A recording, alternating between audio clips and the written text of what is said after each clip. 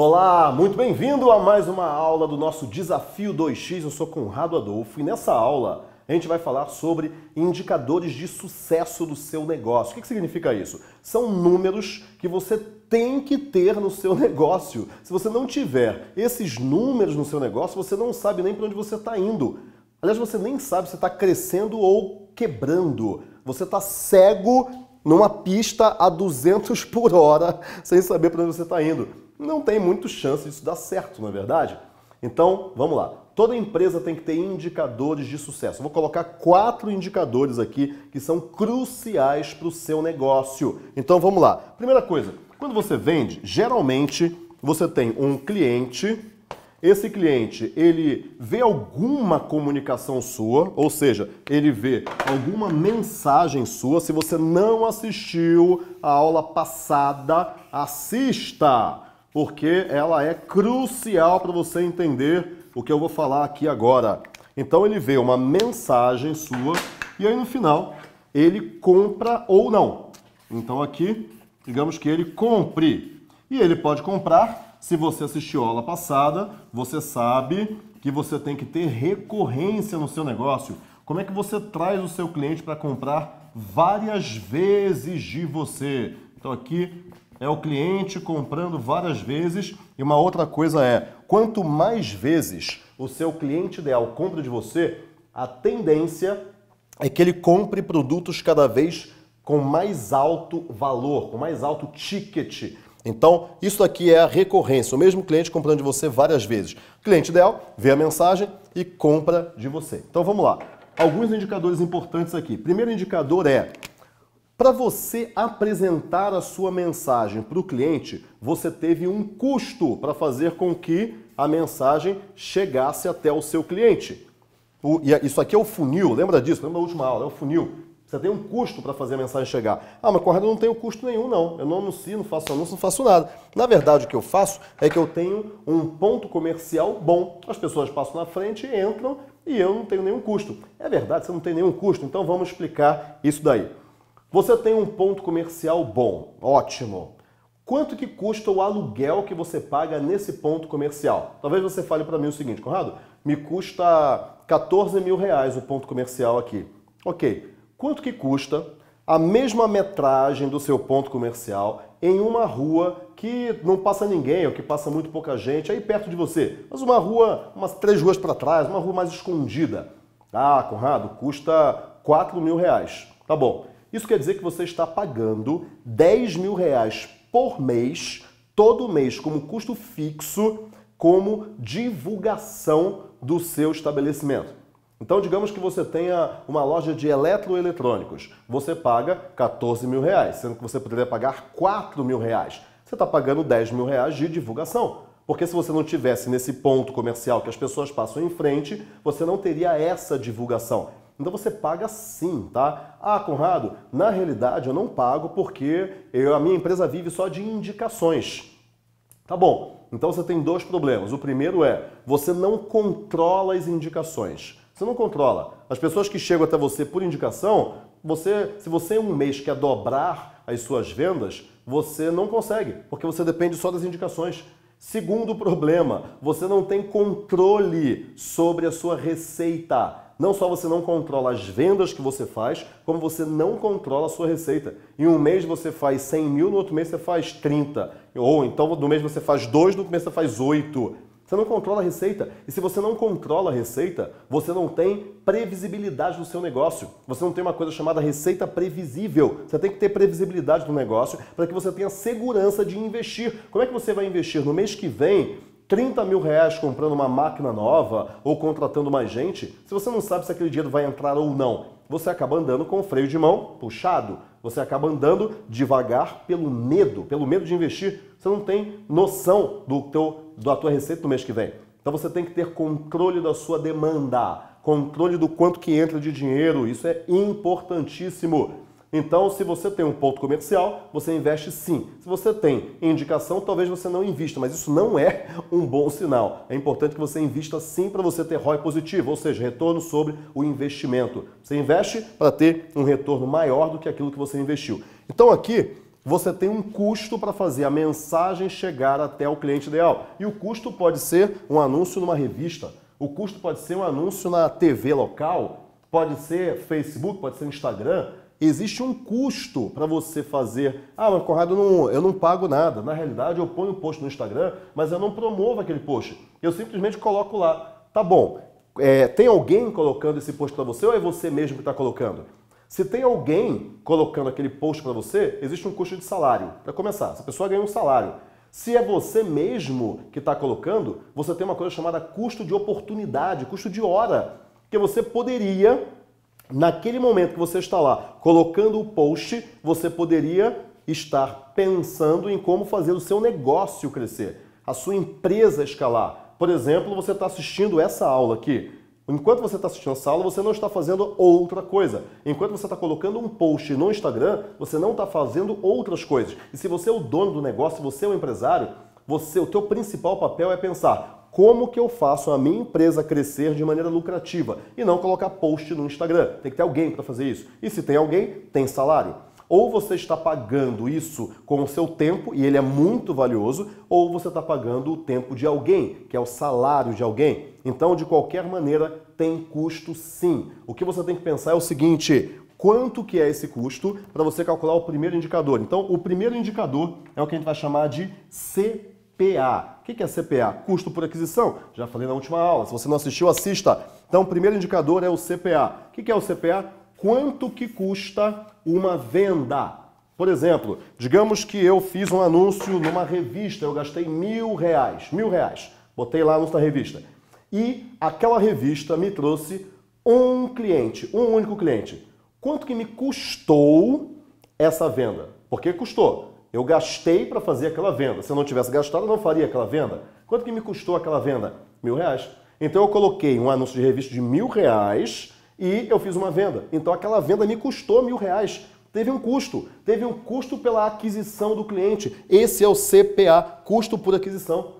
Ah, Conrado, eu nem sei quanto que eu tenho de CPA porque eu invisto num monte de lugar e aparece um monte de cliente. Tá, então faz o seguinte, pensa em todo o custo que você teve ou investimento que você teve ao longo do mês, com tudo que você investiu para fazer com que as pessoas te conhecessem, viessem até você. Pode ser inclusive o aluguel do seu estabelecimento comercial. Ah, eu investi 20 mil reais no total. Quantas vendas você fez? Ah, eu fiz 40 vendas, 40 novos clientes. Ok, então o CPA é de 500 reais. Então, para cada venda, para cada cliente novo, você gastou 500 reais. Por que, que isso é importante? Porque o nosso segundo indicador, o segundo indicador é o que a gente chama de ticket médio. O que, que é o ticket médio? É quanto que mais ou menos, na média, custa o seu produto ou serviço. Ah, Conrado, o meu produto ou serviço custa, em média, é, 300 reais. Pô, legal. Então você gastou 500 reais, naquele nosso exemplo anterior, para vender 300 reais. Você está perdendo dinheiro. A cada venda você está quebrando. Você está mais perto da falência. Por isso que você tem que saber quanto que é o CPA, quanto que é o ticket médio, para você saber se nessa, nesse duelo aqui de CPA e ticket médio, você está ganhando ou perdendo dinheiro. CPA e ticket médio são dois indicadores importantíssimos. Eu controlo todo santo dia quanto que é o meu ticket médio e quanto que é o meu CPA. Eu tenho uma empresa de 40 pessoas e 40 pessoas aqui internamente, tem mais algumas lá de fora também, trabalhando externamente, remotas.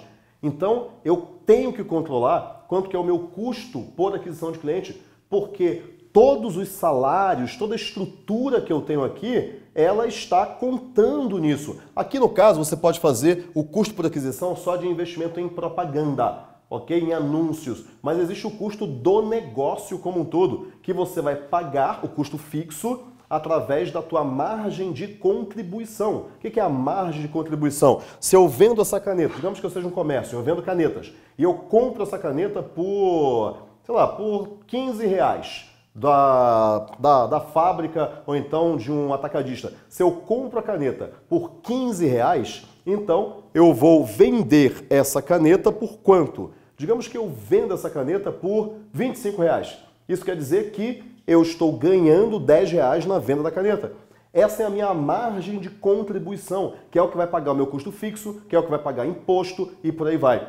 Tudo bem? Então isso é importante você saber. Eu estou resumindo bastante aqui a conta, tá? Só para você entender o que é a margem de contribuição. E é essa margem de contribuição que é o dinheiro que entra no seu bolso. Então a tua margem de contribuição, ela tem que ser maior do que o CPA. Não só maior do que o ticket médio. Porque no ticket médio eu tenho o meu custo do produto, por exemplo, se eu sou uma revenda, e eu tenho o lucro.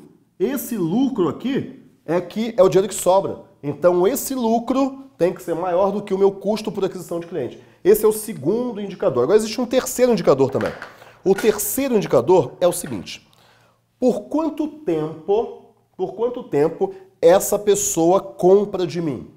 Ah, ela compra de mim por um ano em média. E para um cliente que eu consigo, quanto que eu vou ter de receita dele ao longo de um ano? Ah, eu vou ter mais ou menos. A primeira venda ele faz de mil reais, mas geralmente ao longo do ano inteiro ele gasta 10 mil reais. Ok, esse é o meu lifetime value, ou seja, o valor que o cliente me dá enquanto, enquanto ele tem um tempo de vida como cliente. É o tempo de é, é a receita do tempo de vida como cliente. É o LTV. Em um ano ele me dá 10 mil reais. Em cinco anos, geralmente ele fica comigo, ele me traz 50 mil reais.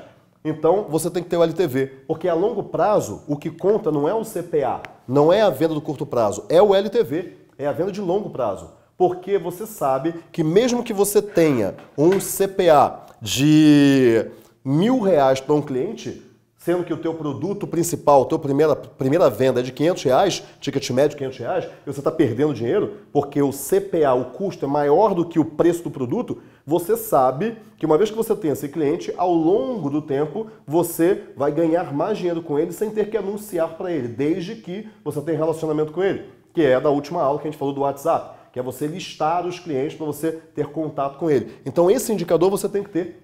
A tua lição de casa vai ser levantar esses indicadores da sua empresa, para você começar a fazer as contas para saber onde que você está e o quanto que você vai escalar o seu negócio. Porque senão, você vai falar o seguinte, Conrado, é, eu não sei se eu dobrei ou não o meu faturamento, porque eu não sabia quanto que era meu CPA, meu ticket médio, meu LTV, porque não adianta dobrar sua receita, tem que dobrar lucro também. E agora vem o um indicador mais importante, vou até colocar de uma outra cor aqui, que é o ROAS. O que é o ROAS? ROAS é Return Over Advertising Spent, ou seja, o retorno sobre o gasto em propaganda. Ou seja, quando você coloca mil reais em anúncio, quanto que volta? Quanto que volta em termos de quantidade de vendas? Ah, eu coloco mil reais em anúncio e voltam dois mil reais. Então, você tem um ROAS de um. Eu vou explicar como é que se calcula o ROAS. É a receita que você tem menos o custo, tudo isso dividido pelo custo. Então, 2.000 menos 1.000 dividido por 1.000. 2.000 menos 1.000, 1.000 dividido por 1.000, 1. Então, seu ROAS é 1. O ROAS é quanto que sobra no seu bolso para cada um real que você investe. Se eu invisto um real e voltam dois, eu pago esse um real aqui, né, porque eu tenho que devolver de onde ele saiu, e aí eu fico com um real. Se eu invisto um real e voltam quatro, eu pago esse um real aqui que eu tenho que devolver e sobram três reais. Esse é o meu ROAS. Esses indicadores você tem que saber. Então a sua lição de casa hoje é você levantar os números do seu negócio. Levantar quanto que é o teu CPA, custo sobre a aquisição de clientes, quanto que você gastou e quantos clientes você ganhou.